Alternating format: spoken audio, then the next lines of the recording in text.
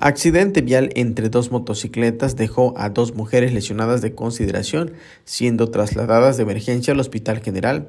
El hecho se registró minutos antes de las 22 horas con 30 minutos sobre las avenidas constituyentes con el cruce de la calle 51 de Felipe Carrillo Puerto, lugar hasta donde acudieron los elementos de tránsito municipal y paramédicos de la Cruz Roja. Una vez en el lugar, los paramédicos le brindaron los primeros auxilios a ambas mujeres siendo una de ellas quien resultó con herida de gravedad. De acuerdo al peritaje de los agentes de tránsito, se logró saber que la conductora de una motoneta de la marca itálica, color negro sin matrícula, que iba acompañada de otra mujer, circulaba de sur a norte sobre la avenida Constituyentes, cuando al llegar al cruce con la calle 51, la guiadora de la otra unidad realizó un cambio de dirección sin la precaución provocando el impacto.